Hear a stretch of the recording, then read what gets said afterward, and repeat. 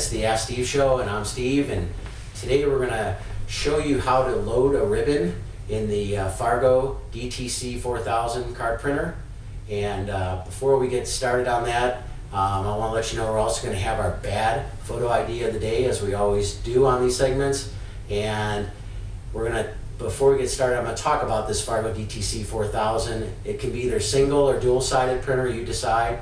100 cards in, 100 cards out on the card hoppers. You have an optional uh, mag encoder you can get in there. You can have optional Ethernet connection, optional contact smart card, or you can get a dual hopper optional on this where you can have two different card stocks feeding into it. It'll select the one that you choose.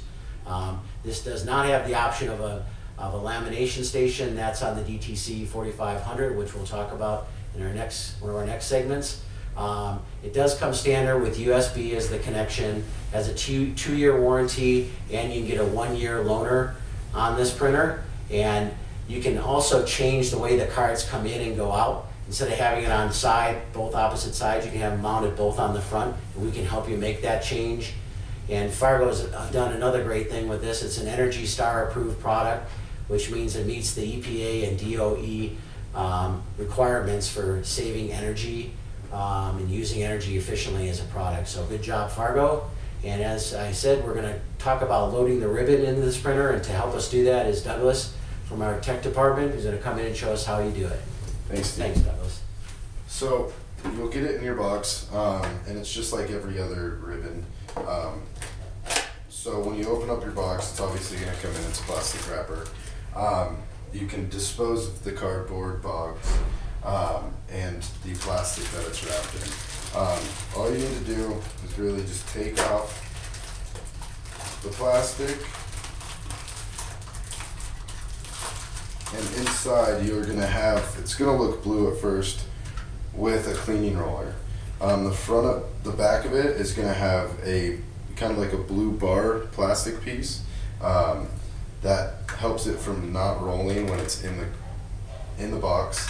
So the first thing that you're gonna obviously do is you're gonna take this off, and that can just go right in the trash. Next thing you're gonna wanna do is, there's a little arrow on the cleaning roller on top of the cartridge. Um, what you're gonna do is just pull on that arrow and a piece of paper is gonna come off of the cleaning roller. You can feel that it's really sticky.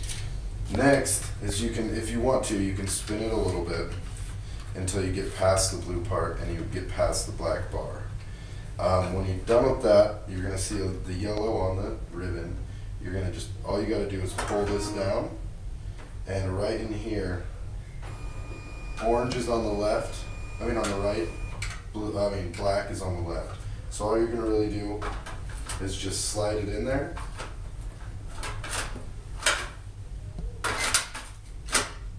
Close it up.